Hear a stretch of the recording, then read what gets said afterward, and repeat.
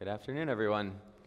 And thank you for coming out to Exploration, Monitoring, and Security with osquery. My name is Zach Wasserman. I'm the co-founder and principal engineer at Kolide. And uh, today we'll be doing a very broad and hopefully somewhat deep introduction to uh, what we can do with osquery. So this uh, will be an interactive talk, and in order to prepare for that, I would ask you all, if you don't already have it, please uh, download and install osquery so that you can follow along with the examples. So you can just go to osquery.io slash downloads and uh, download the Mac package and install that. And uh, you may see that Homebrew has osquery, but there are some issues with uh, that installation, so please uh, just download the package from osquery.io. Um,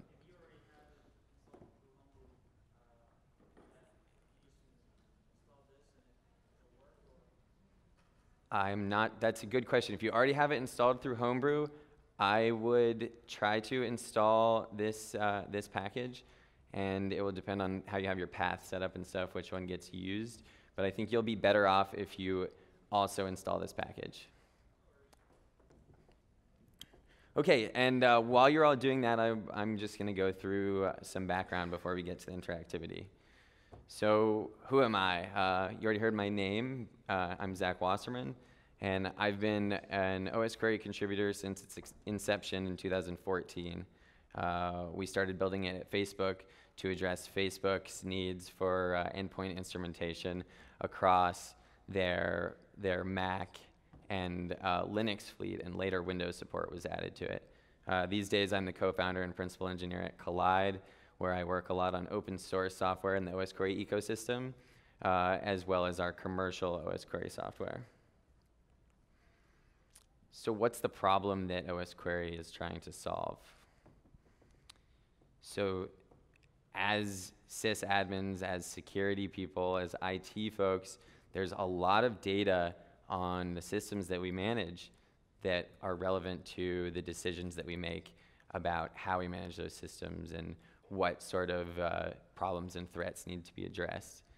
And so how can we find a way to reliably access this data, um, see what the state is in the present moment, and then monitor as, this as all of this information changes over time so that we can keep records and we can understand uh, how change is happening.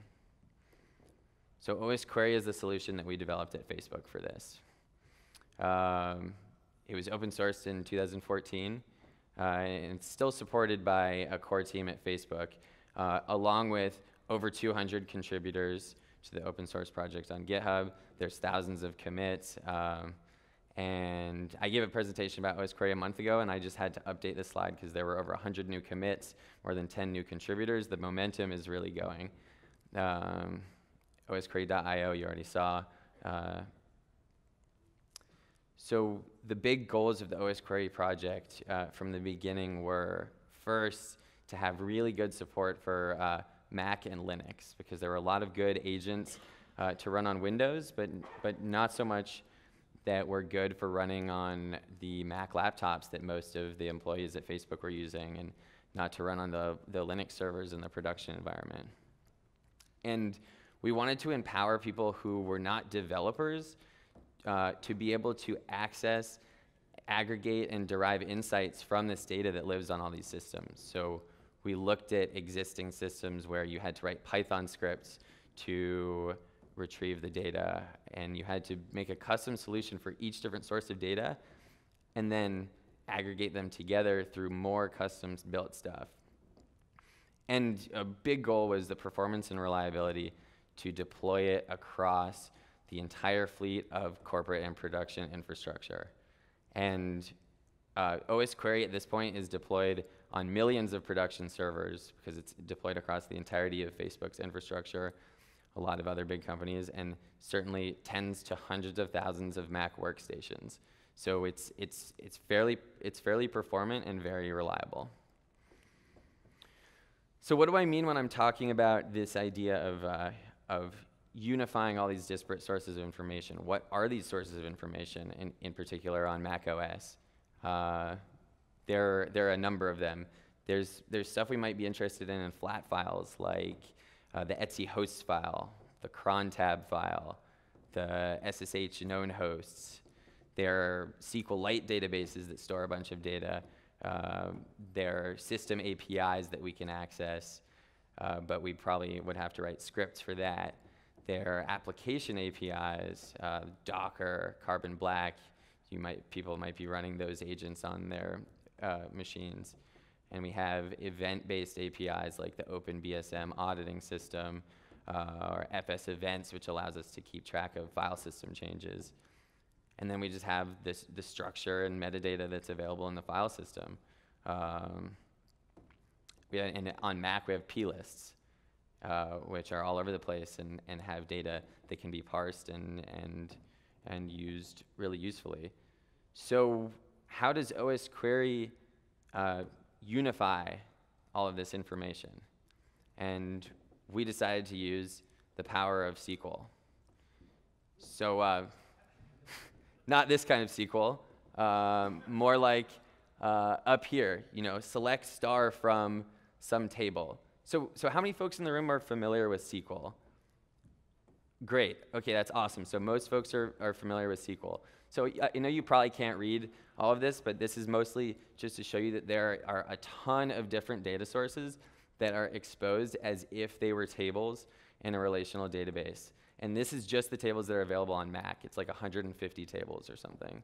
Um, many of these tables are also available on other platforms, and there are many other tables on those platforms that are not available on Mac.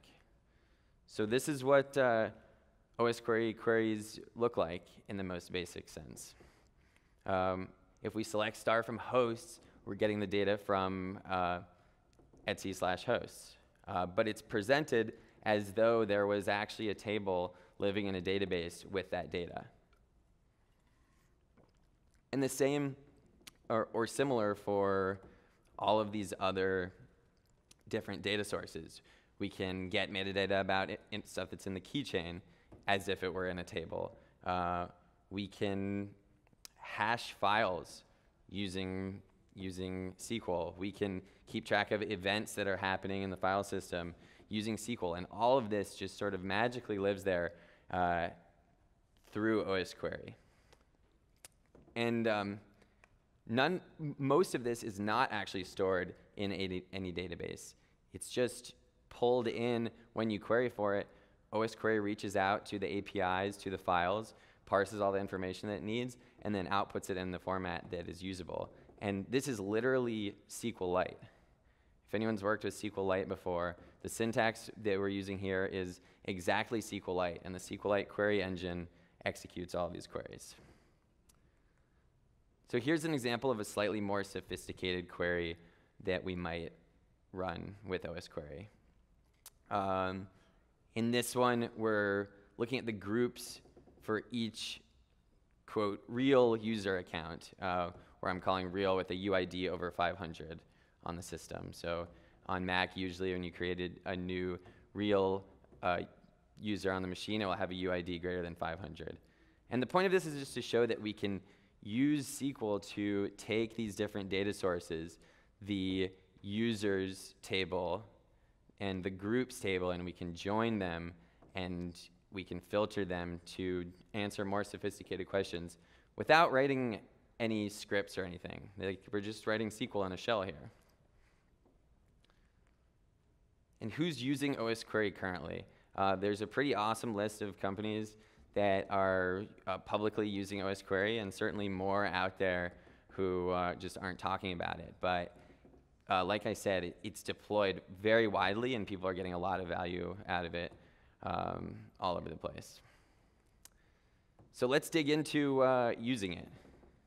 So we'll, we'll start with osqueryi, which is the interactive shell. Um, this would be just like a SQLite shell. Will allow us to write queries and see the results. And so this is really useful for just exploring what sort of data is available. Uh, and we can also use it as a part of scripting to use that, that uh, unified data source in any other scripting or other work that we'd like to do. And then often what we'll do is we'll use osquery to get an understanding of what data is available, and then we'll evolve that into monitoring through osqueryd, which is the, the daemon. And we'll talk more about that later. So I'm going to switch to my terminal now. And um, hopefully you all managed to get the package installed. Did folks? Can I get like thumbs up if you got the package installed? Great. Okay, cool. So, um, and we have my, my terminal.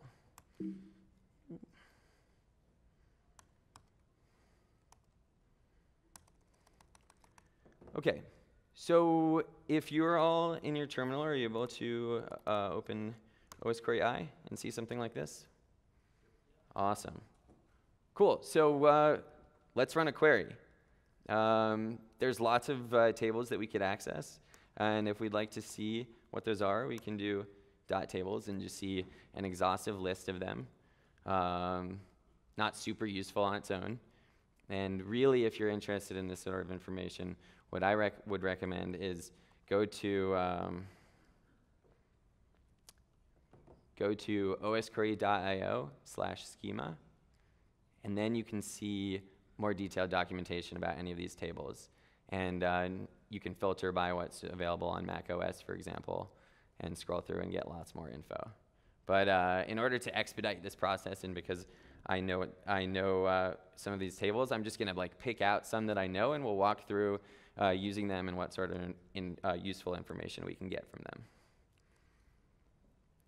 So the, the table that I like to use every time I start up osquery in a new environment just to make sure that everything's working is um, time. So we can select star from time. And we'll just get the current time, lots of information about the current time, different formats. Not extremely useful on its own. You have plenty of other utilities on your machine that will give you the time perhaps useful when you're doing other things with osquery.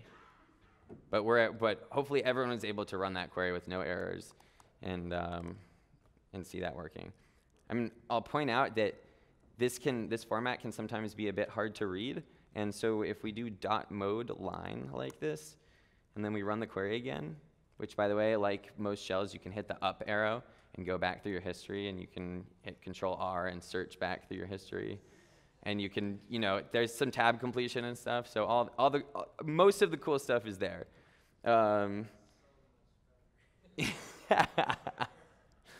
um, so if we run this query again now that we turned line mode on, uh, we see the same data, but just in a sometimes friendlier format. And it depends on the data that you're working with, whether this format is uh, more friendly or not.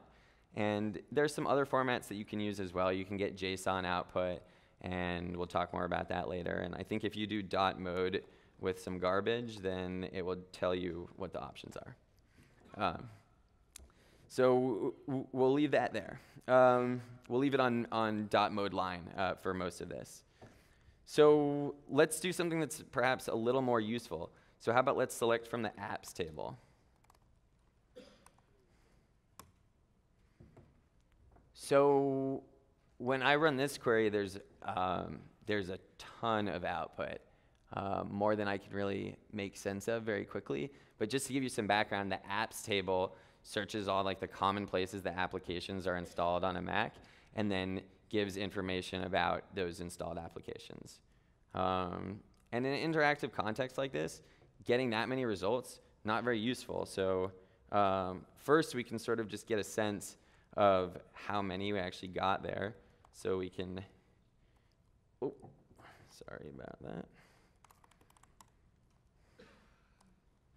So we can, we can do a count and find that, okay, there are 466 applications that were found here. So we probably don't want to scroll through all those results if we're just sort of trying to get a sense for what's going on. Um, maybe we just want one result. And I'm using the up arrow here again to uh, get these old queries. And another thing that I'll point out is uh, I'm capitalizing these keywords here because I think it makes it easier to read. It's not actually necessary. Um, so we can limit the number of results that we get.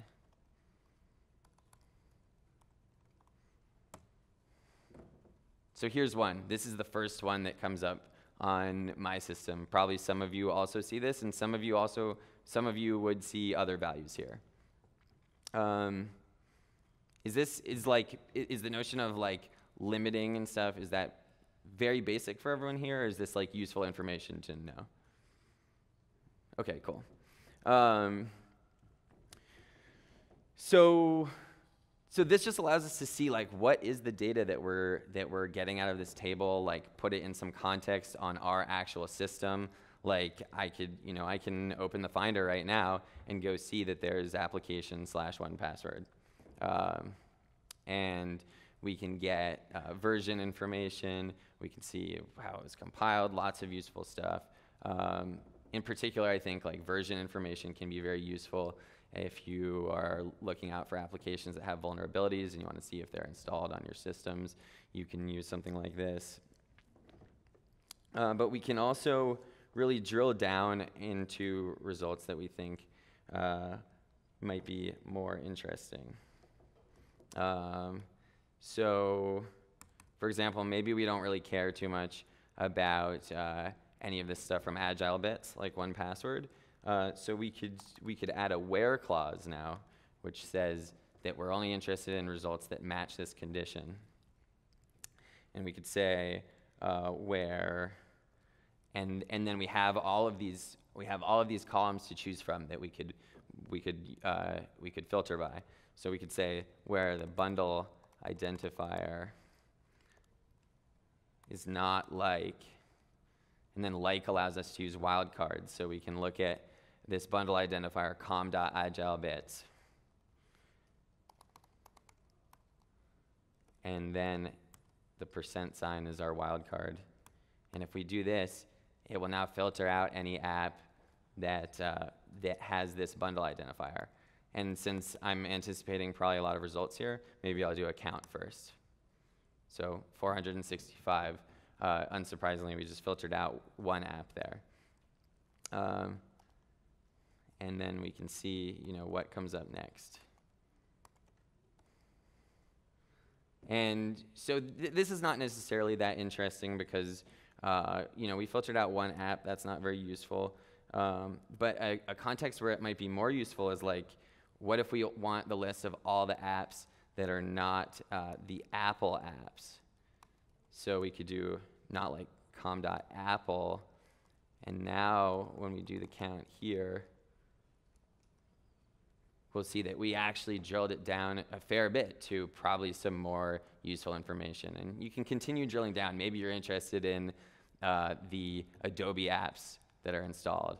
And I think that would probably be com.adobe. And you can, you can drill down all these different ways to, to get to the data that's going to be most interesting for you.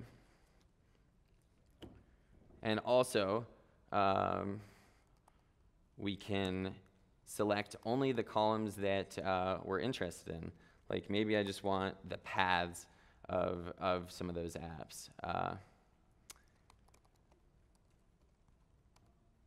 so I could select the path from apps where the bundle identifier is not like com.apple.star, basically. Limit that to 10, and then just there's some of those paths.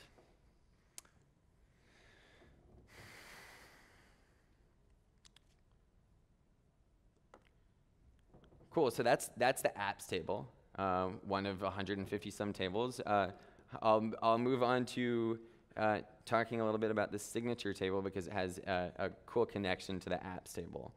So um, as many of you are probably familiar with, um, binaries that are distributed to Macs, application binaries, are often signed by the developer uh, that allows us to do integrity checking on those binaries, or allows the system to do integrity checking on those binaries.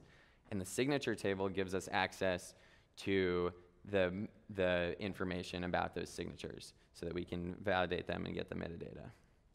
So we can take, like, uh, for example, on my machine, this, uh, this 1Password, and we can, we can do, we can select against the signature table.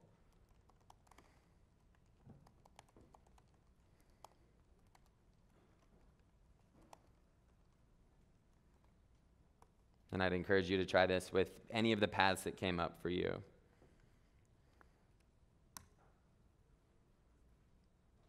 Cool, so here we can get the signature information on this. This tells us that the 1Password that I have is signed.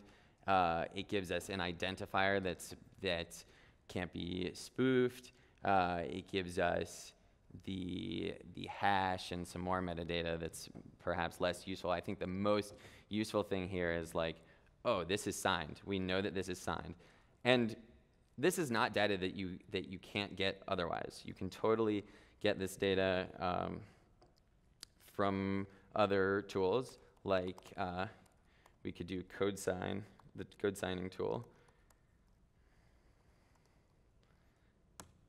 And we could see very similar information.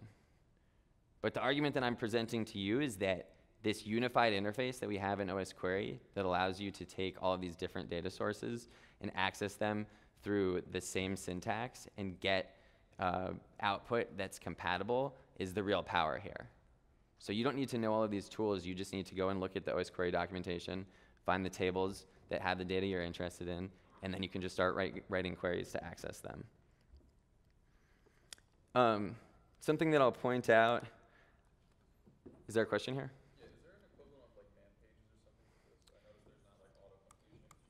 Yeah, so there's a bit of auto completion with tab. It's not great. Uh, oh, the question was, are there man pages? Um, so there's there there's a bit of tab completion, and uh, what I really recommend is go to osquery.io slash schema, and this is this is the man pages essentially. Um, sometimes very helpful, sometimes not that much more helpful than just looking at the column names. And um, when it's not helpful, let's try to improve it. That the the docs are all on GitHub, and we'd love help improving those. Um, that'd be a great way to contribute if anyone's interested in contributing to the project. So uh, let, let, let me point something out here. So we might imagine like, oh, let's just get the signature of like every file that we can find on the file system. Can we just select star from signature? And the answer is no, we can't. So osquery has a has uh, a bit of a, a, weird thing, which is not really congruent to other sort of database systems where some tables require that you give them constraints. The signature table doesn't know where it should be looking for the signature unless you give it a constraint. And so this, this message is letting us know that.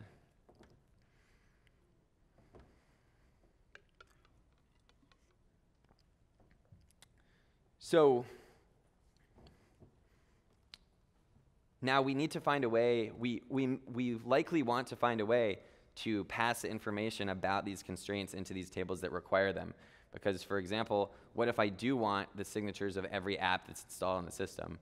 Well, we have a table that allows us to enumerate those apps, and we have a table that allows us to get a signature if we know the path for the app.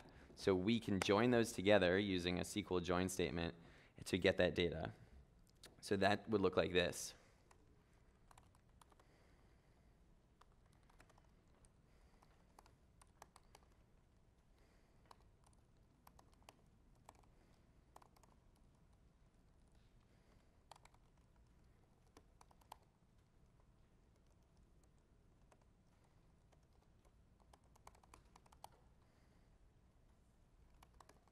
And I'll just limit it to three because the signature table is a little bit slow right now due to a, uh, it does a very uh, deep verification of the signature, which is not the typical verification that's done by other tools.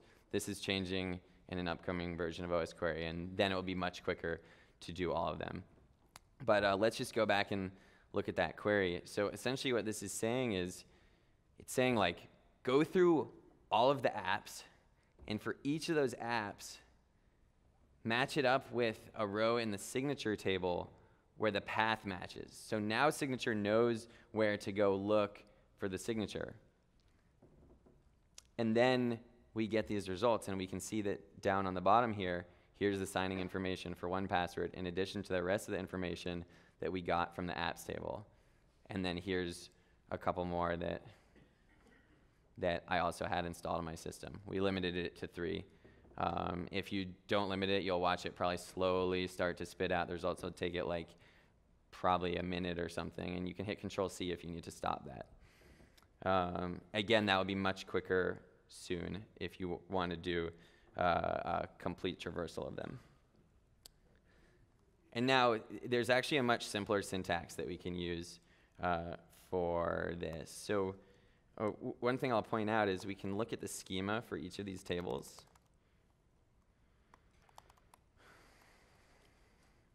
And we can note that these both share that path column. That's what we use to join on. And, and tables sharing columns with the same name is a good clue that they may be joinable together. And really the simplest way to do that, which is essentially exactly equivalent to what we just did with this query, is to do this. We'll join apps to signature using path.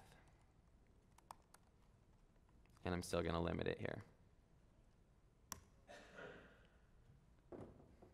and we'll get the same results again. So this is just different syntax for the same thing, but to me it's much easier to think about it this way. I just want you to join apps with signature using the path, because the path is the thing that they share. And we can, we can then uh, continue to, to uh, do filtering on the results when we do joins as well. Uh, so we could say like, okay, we're not interested in that Google stuff, so uh, again, like we did before, um, we can say where identifier not like com.google.percent. And then we'll see that our third result was replaced with something else from com.apple.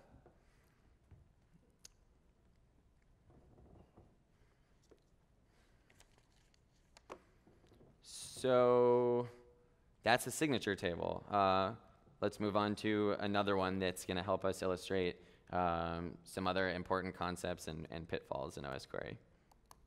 Um, we can uh, select star from Chrome extensions. And the tab completion is more useful there because it's a bit longer.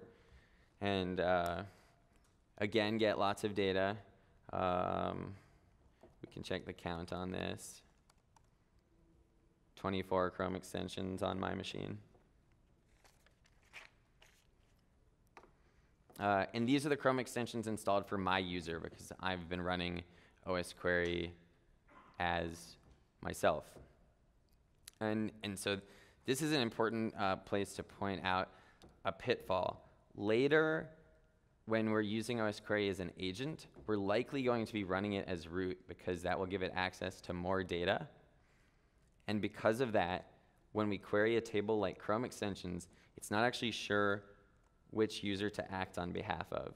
So I'm gonna, I'm gonna hit Control C to exit the shell, and I'm gonna restart it uh, as root. And let's see what happens when we query against Chrome extensions again.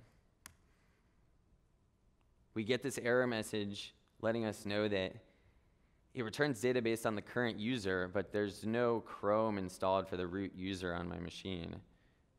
Consider joining against the users table. So how do we do that? And this is a concept that you'll use uh, with a lot of these different tables that return data based on the current user. So the query would look like this.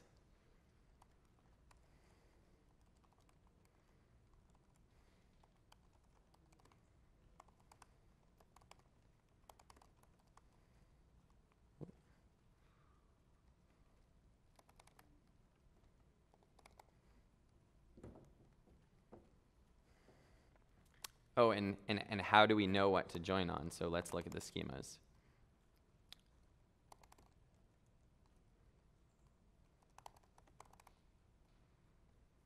So they both share the UID column. So that's a good hint that that's the column that we should try joining on. So let's select star from users join Chrome extensions using UID.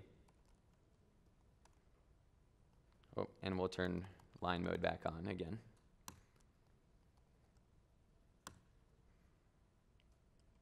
And here we see that osquery enumerated the users, found my user, and then was able to retrieve the Chrome extensions for my user. So if there were multiple user accounts on this machine uh, that had Chrome extensions, we'd be seeing the results from all of them at this point.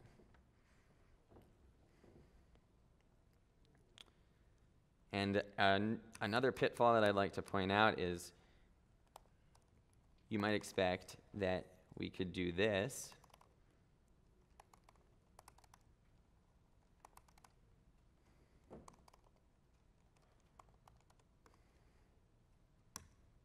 But in fact, we get this error again. And if you're into databases, you're probably thinking, this is really not good. It's not really how databases should work. And, and this is admittedly a wart in osquery because it's using the SQLite engine, which never expects that, that there would be a table that doesn't return results without constraints. So it just tries to go to the Chrome extensions table first, and the Chrome extensions table says, I don't know which user to look for, and then it's all over.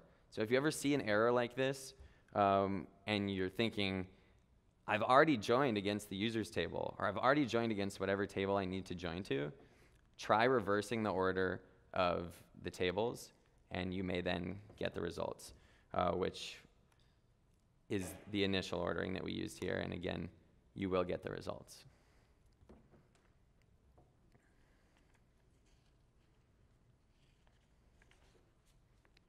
Does anyone have any questions at this point? Yes. Uh, let's let's toss the cube. So, so I had a, a couple of questions. Like, how uh, often is it actually doing the query? Uh, like, how resource intensive is it? Yeah, that's a great question. So, how often is actually doing the query? The, the answer is only when you ask it to do the query. It's not storing any of this state itself. It goes out and looks up all of this information when that information is requested by the SQLite query engine. So, in a bit, we'll show that you can schedule queries to run on interval, and those queries will run, cause this all this processing to take place, output the results, and then that data is still continues to be stored, you know, in, in the file system or in the APIs where they live. We're not storing that data within osquery, except in, in certain cases, which I will talk about later. And how, in, in terms of how performance intensive this is, uh, it really depends on the queries that you're writing. So one of the big goals of the osquery project was to make sure that this was super performant because we wanted to get this agent deployed out to the Facebook production infrastructure. And the people who manage that are very picky about what they let run on the infrastructure. So the, the performance is, is quite predictable. Uh, there's some tooling available in the osquery repo that you can use to measure the performance of queries. And typically, queries are very efficient. We don't, uh, we very rarely, uh, we, we try to never execute uh, additional processes. We always use the APIs. We always hit the files directly. Um, there are very few cases where anything goes outside of the osquery process to get the data. So, so it's essentially as efficient as it could be to access any of this data. Deal with uh, uh, paths that are like protected by uh, system integrity protection, or um, if, if you're testing out uh, the current uh, beta of uh, Mac OS, you know, certain directories that uh, might give you uh, some problems. Let's just say. Yeah, so in, in my experience with system integrity protection, you can often, uh, at least as the root user, you can often do reads against those protected directories, and osquery is read-only Right. at so- this current time. What about that second part of the question I asked in regards to uh, the current beta? So we don't we don't have any capabilities to do anything that a root user can't do. So if there if there are things that can't be done in the current beta, then we don't have access to any way to do that. There's no kernel extension in osquery, which is you know a, a, a blessing and a curse. It means that stability is really good. osquery will never crash your system.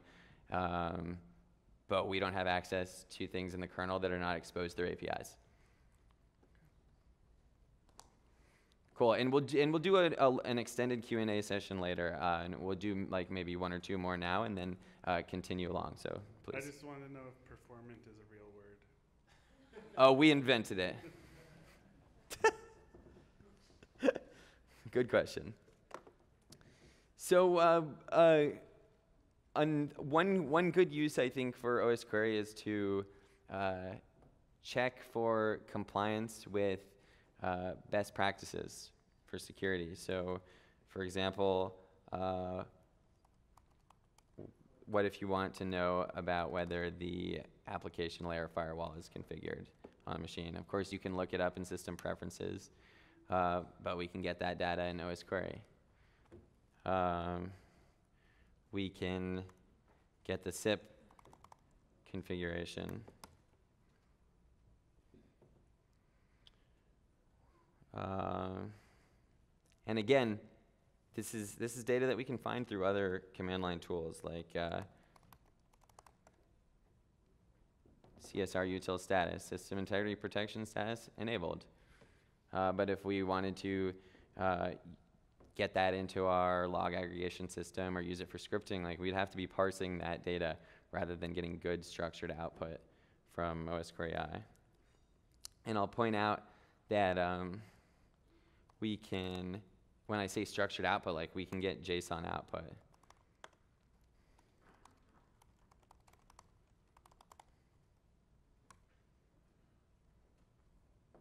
And so this can be piped into your Python scripts or whatever you want to do to make use of this into your log aggregation systems. And, and we'll see later that the osquery daemon can run queries on a schedule, give us that structured output, and uh, do lots more. Um, so uh, we can we can get the disk encryption status. And uh, you probably saw some error messages pop up there. This is due to recent API changes, but we do, in fact, get the correct results about what's encrypted. And again, this is something that we could get from diskutil APFS list. And, um, and we'd have to parse this data, but osquery gives it to us uh, ready to go. Uh, we can get gatekeeper information.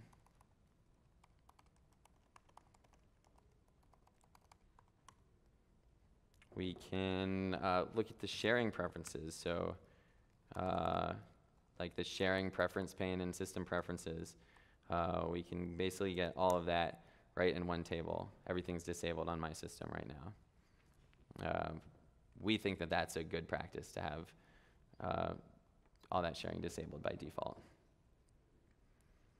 And uh, at Kolide, we think that this is like this kind of best practice uh, is like really good thing to encourage for your users. So, so we focus on this kind of stuff a lot, and um, we can provide that information to like you as an administrator through osquery or the users themselves through osquery. So, um, just for a quick example of what that looks like, as an administrator, you could see how your users' compliance is with those best practices. Uh, you can define your own best practices, and um, we have a desktop app that will allow them to see how their compliance is doing because we think that users want to be secure, they want to follow best practices, and they want to know what those are. So we've learned how to use osquery for a bit of exploration for understanding what's going on on a system, uh, but I did have monitoring in the title of this talk, so how can we do monitoring with osquery? And that, the answer to that is that we have the osquery daemon. So the daemon allows us to schedule queries for continuous results. Uh, we say how often we want the query to run, and it will run the query on that interval and provide the output to whatever logging pipeline we're interested in. It can write to the file system, it can write to AWS, it can write to syslog, uh, lots of different places. And it has a differential engine to see how state changes over time. So if you want to see that, for example, someone updated their sharing preferences, they were all off yesterday and today they turned on file sharing, and then the next day they turned on Bluetooth, uh, you can track those changes over time. So you don't, you don't, you have the option to get snapshots of the exact configuration and state of the system at one time, and you can also get, get the differential changes of the system. And then there are these event-based tables that help us ensure that we're not losing any data, even when events happen between the time that queries run. So if you want to be sure that you catch every process that's executed, well, running a query against the processes table every second means that one, it's expensive, and two, a process could exist between the times the query runs and we wouldn't catch it using this differential engine. But with the event system, that data is stored within osquery and then extracted when you run a query against the process events table, for example. Uh, and that one in particular uh, requires some more configuration, which I will link to some resources for that later. Uh, other events-based tables would be like uh, file integrity monitoring. Uh, with the file events table, there's a hardware events table that gives all the events from USB devices that are uh, plugged in and unplugged from the machine. So in osqueryd, we provided a schedule of the queries we'd like it to run. And uh, once we start it up, it just does that. So we'll go through a little example of how you could configure osqueryd there, here. So we'll get back in our terminal, we'll quit osqueryi. And uh, please don't do this one. Or it's actually probably fine if you do, uh, but it's not necessary. Uh, so let's uh, make a directory, uh, make dir uh, temp slash osquery test. And we'll cd to that directory. Should be empty. And then we'll copy the configuration file that comes, the example configuration file that comes bundled with the osquery installation. Um, so that will be in var osquery os query.example.conf. And we'll just copy that to uh, osquery.conf in our new directory. Are folks keeping up with this? Cool. Uh, and then let's open that file for editing. Uh, since I don't know what tools you have, I'm just going to use TextEdit. Uh, this should work on any machine. Uh, open dash a TextEdit osquery.conf.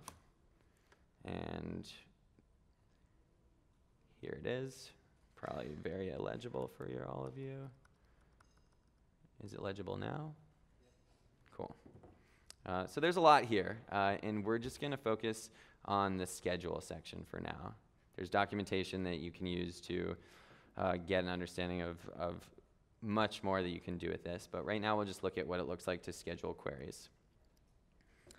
And uh, oh, and in your file looks different right now because I think this must have reloaded. Um, revert. Your file probably looks more like this. You'll have a system info query. So uh, we talked about, for example, tracking as the sharing preferences change over time. And so I'm going to add a, a query here called sharing. So we just give it the name that we want the logging output to have. And let's say select star from sharing preferences. And because uh, we don't have an hour here to do this demo, uh, we'll set a 10 second interval. Uh, it's up to you what interval you set on your queries. I typically don't go under 10 seconds, and I think that an hourly interval is just fine for most queries. Uh, these queries are, are cheap to run, but there's no reason to be running them all the time if we don't need that data to be so up to date. So we'll save that file. And one thing to be just to be aware of is uh, remember in JSON you can't have a trailing comma, so uh, no trailing comma here. And then we will run osqueryd, the daemon. And this is going to be a bit of a long command uh, because we have to give it various configuration options. So we'll tell it to use that config that we just created. We'll tell it to create a database in the directory that we just created, our test directory. We'll tell it to create a PID file in this directory, and osquery uses this to ensure that there isn't more than one osquery instance running against the same database, uh, and allows it to kill the other running instance if you instruct it to. Uh, we don't need to worry about that too much right now. And we'll tell it to log into this directory as well.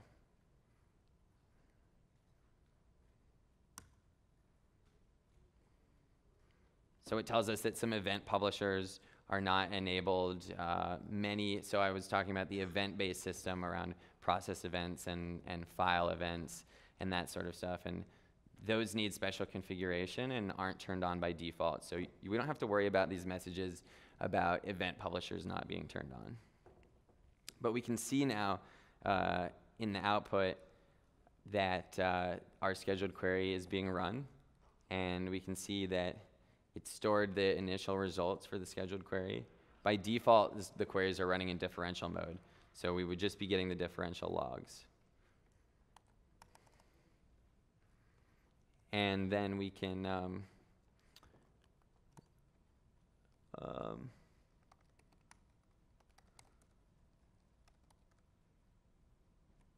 So in another terminal, we can cd back to uh, slash temp slash osquery test and see that now we have a number of files that osquery created in addition to that configuration file, including our results log. So we can tail that. And we see that initial result. So this is that same result that we saw earlier. All the sharing is turned off. And even though we've seen in this other window that uh, the query executes a bunch of times, nothing has changed, so we only get one log output. So now if we open up our system preferences, go to sharing, and enable something, then we'll soon see that osquery picks up that change and logs a new event.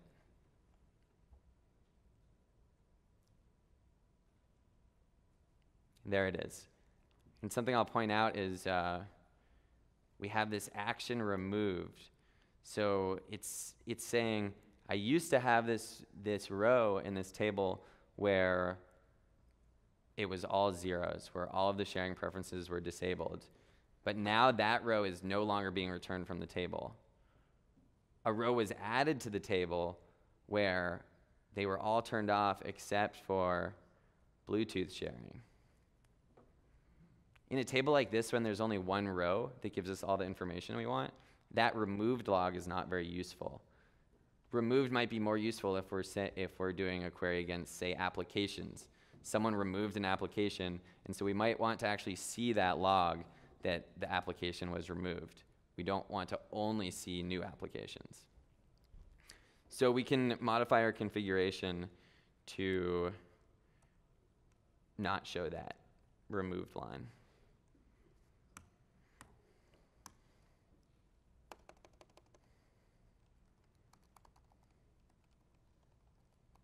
So we'll add removed false. We will save the file.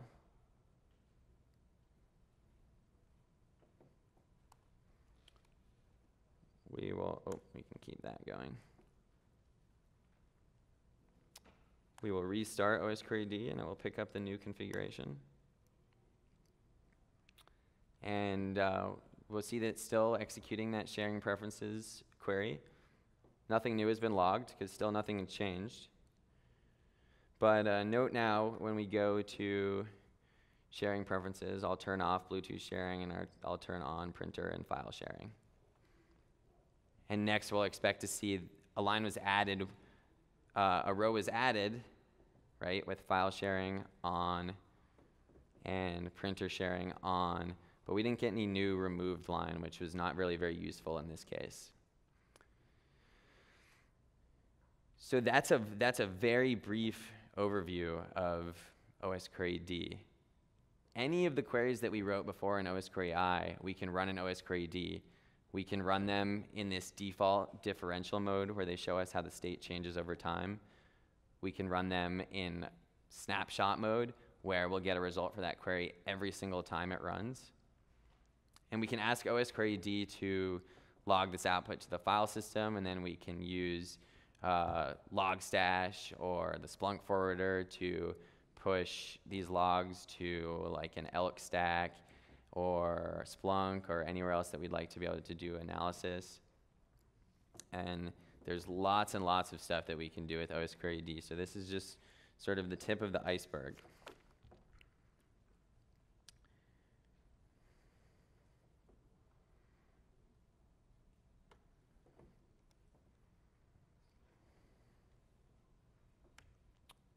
And just as an example of one of these event-based tables, uh, the hardware events table doesn't require any special configuration. So you could just add a query against the hardware events table and uh, plug in a USB device.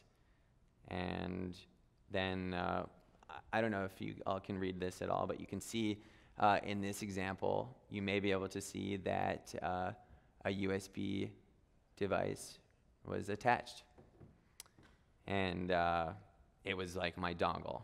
So it says it's a USB 3 hub. It was my dongle. It's over 9,000!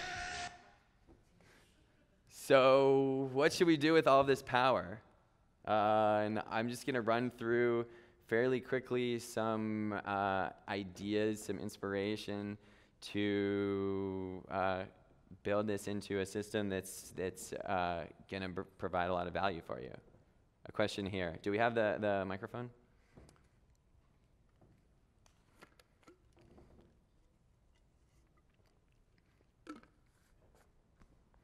Yeah, if you have um, two events between your polling times, like a USB device is inserted and removed, you get no log, right? So you poll, nothing's changed, inserted, removed, you poll, you get no log. Right. Okay, So, n- so no, sorry. Um, incorrect. Um, so right was acknowledging your question. Okay. Um, but the answer is uh, no. With these event space tables, these ones that have the underscore events at the end, you will get all of the events that occur between the time the query was last run and the next run of the query. so sharing would be different from that. Sharing is different than that. Right. So if you set if you if you ran that sharing preferences query every 60 seconds and someone turned on their sharing for 10 seconds and then off and during that 10 seconds was not when the query ran, you would not get that result. You would get no you would get no change at all. With one of these events tables, uh, you will get all of the results. A question here. In that realm of the hardware events uh, or event streams, how does that? You said so. It takes all events. So um, I also you mentioned OpenBSM logging. So how does that play in? The queries play into an OpenBSM log. Can you utilize the queries to narrow down the scope of those logs versus just getting a flood of OpenBSM logs inside of it? Yes, absolutely. So with something like OpenBSM, you can configure which OpenBSM logs make it to osquery at all. And, and I should note with all these event-based tables, osquery does actually have its own internal database. So I, I sort of lied to you a little bit earlier. Most of the data that osquery has, it retrieves at the time you ask for it, but osquery does have its own database where it stores data for these event-based tables and also where it stores this differential information. So you can configure the ingestion so that it only ingests data that you're potentially uh, interested in. And then you can still write sophisticated queries that do all this matching and stuff uh, using any of this power of SQL against the event-based tables. And you can get a baseline against all of that, like you previously mentioned, baselining the queries and like system utilization and stuff like that. That'll work on the event streams and stuff as well. Yes.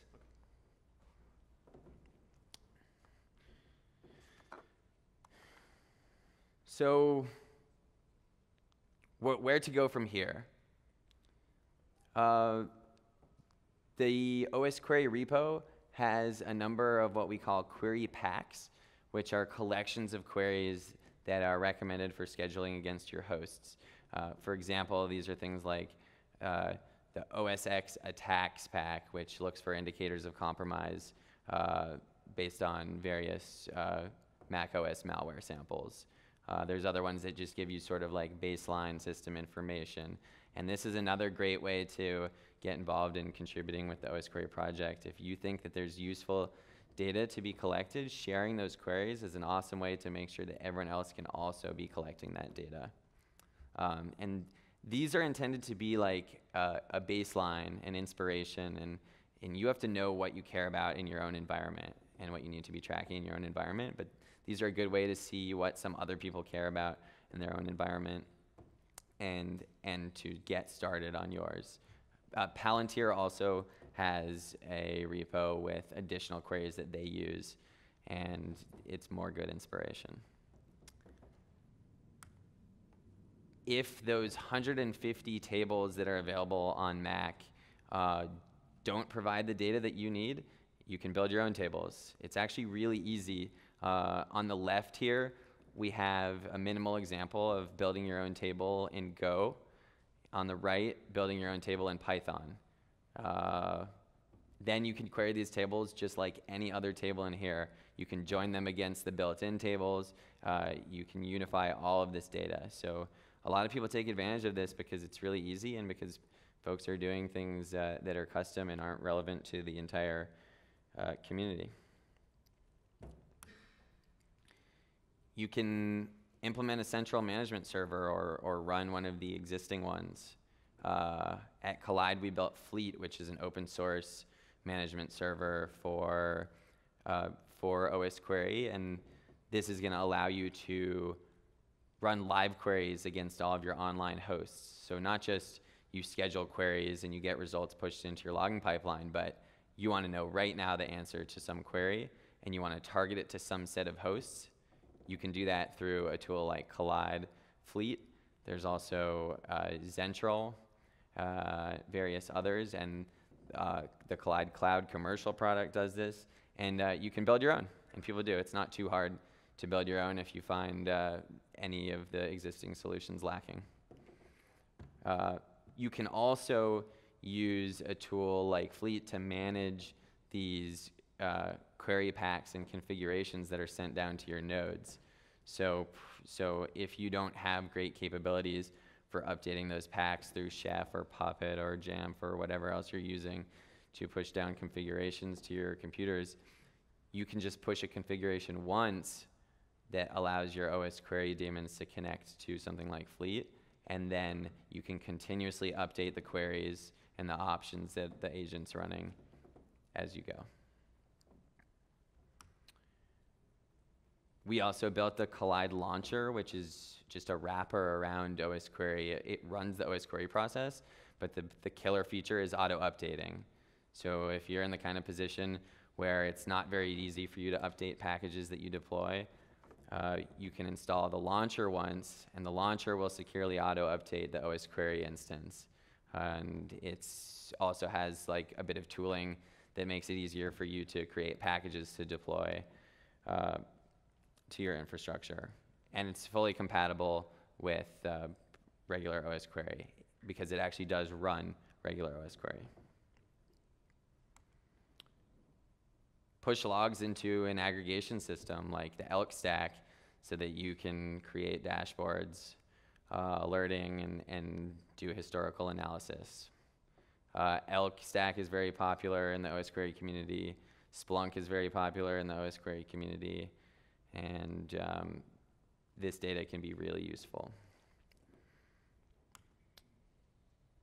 Victor, uh, who works at Kolide, who some of you may know, uh, wrote a cool blog post about conditionally installing software using Munki and using osquery as a data source for, for creating those conditions that you use to install the software.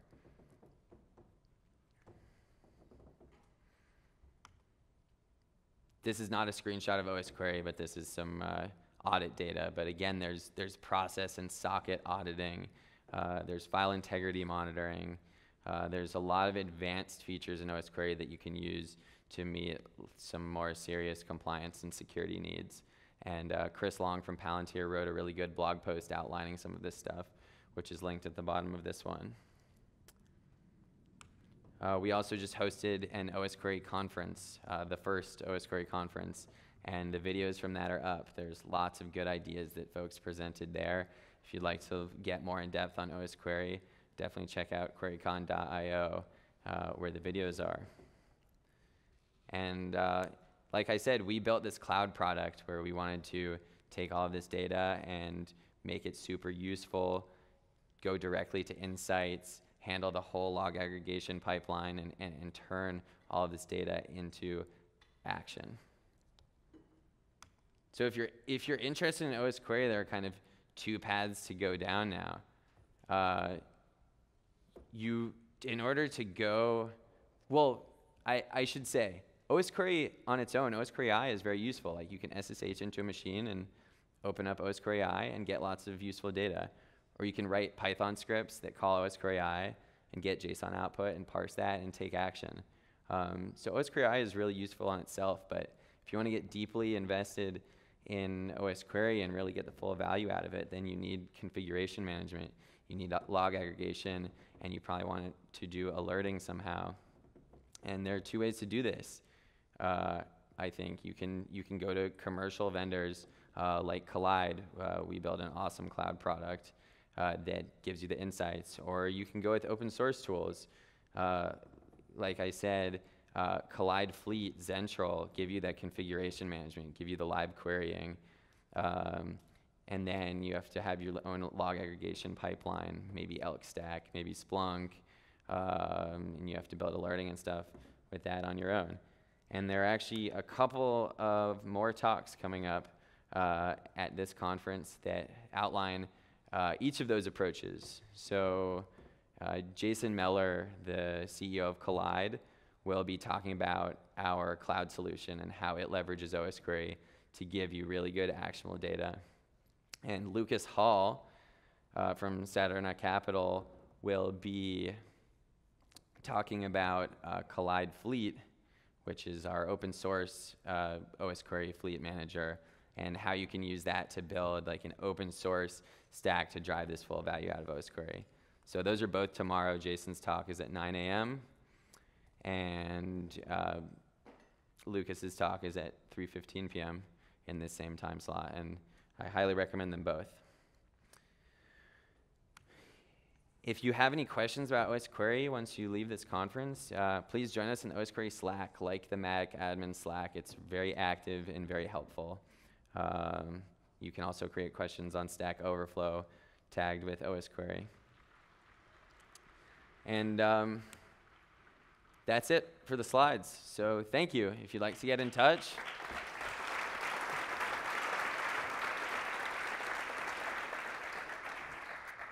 If you'd like to get in touch, uh, there are a variety of methods here. And uh, otherwise, uh, I'll be at our Kolide booth in the hallway, and um, I'll take any more questions that folks have. We have 12 minutes for that, and otherwise, uh, that's it. Thank you.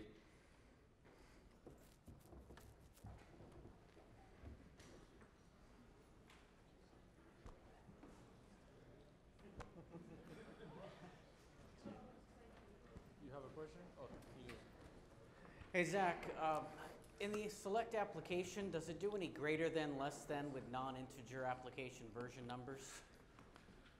We don't, we don't right now have any great handling for that. And um, it's something that I've thought about. You can hack around it by writing some pretty ugly SQL. Um, but this is something that I think is probably worth looking into. And if you're interested in that, uh, please file a GitHub issue and um, or if you write C++, uh, please just file a, a pull request. But, but at least if we can get an issue around that to understand like how much uh, interest there is in that and what the sort of solutions are, like I think it's definitely a sensible feature, and I'd love to get it in. So osquery is written in C++. Um, yeah. So that's why that's why extensions can be written in, in Python and Go in anything that speaks Thrift. Um, but there's really good support for both Python, Go, and C++. And you can write also custom logging extensions, configuration extensions, uh, as well as tables. So you can integrate essentially anything with osquery. Any other questions? yeah. Uh, you were, you were saying, uh, that osqueryd was storing differential in- information there from the queries that it was running. Was it doing that with that, uh, the system preferences query that you had running? So you could actually have it tell you what time that state changed? Yes. Yeah. So with that sharing preferences query, it was storing the last results for that query each time the query ran, and then it only logs if it finds that the results have changed. When it finds the results have changed, it logs the differential along with the timestamp. Okay, any chance you could show that real quick? Yeah, yeah, Thanks. totally. So uh, that's that's back to here. So so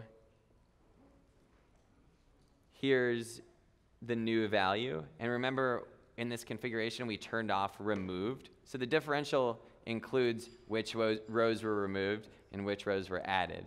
In the case of this table, there's only one row every time. So really, we're not interested in removed because if anything changed, the added row just tells us the new value that we're interested in, and the previous added row tells us the previous value. So we can turn off removed for that one. For other ones, we would log those removed rows. And so when we log it, it will be logging the time that the query executed. For those event-based tables, where they store events between query executions, those tables uh, will include the exact time the event occurred. So we don't know from this query, from this query, we don't know exactly exactly when the user changed the preference. We just know that the preference changed in the interval between the query being executed once and again. Um, uh, looking into Google Santa and leveraging some of this in conjunction with that, um, I- I've seen some rumblings online where it sounds like there is the potential of writing some data back out to the endpoint with that. Could you talk about that a bit? Yeah, so some folks have started. So, so one of the, the core principles of osquery has been that it, it must be a read-only system. Um, this is this is we think a benefit to a lot of folks who just wouldn't be able to deploy software that would be able to do writes like that. But we have this rich extension API that means that we can do a lot of a lot of interesting stuff in extensions. So there have been some recent changes made that allow extensions to be deployed uh, where you can do inserts and deletes, and you can use that to, I think, sort of one of those proof of concept tables was uh, for managing the Google Santa configuration. So I think for folks who are interested in doing write actions with osquery, there there is a future for that, and the, and it's and it's soon. It's now. Uh, but it's not through the core osquery project.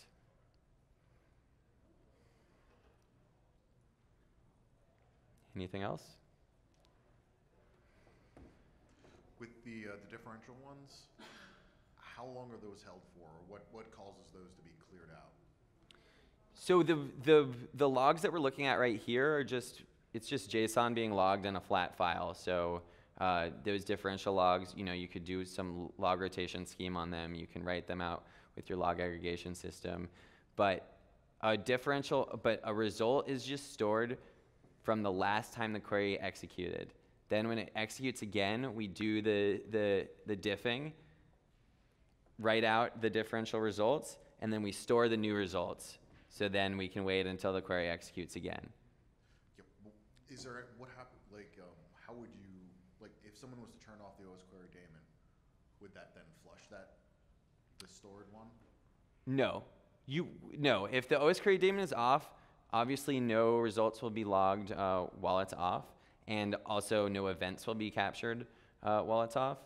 But the the data is stored in um, a RocksDB database on disk, and so you know this is one of the reasons why like osquery runs as root, so that you can have that file be run under root, and then either you trust your users to run as root, or you have SE Linux or something, or you don't trust your users to run as root, and then they can't tamper with the osquery process or that file. Thank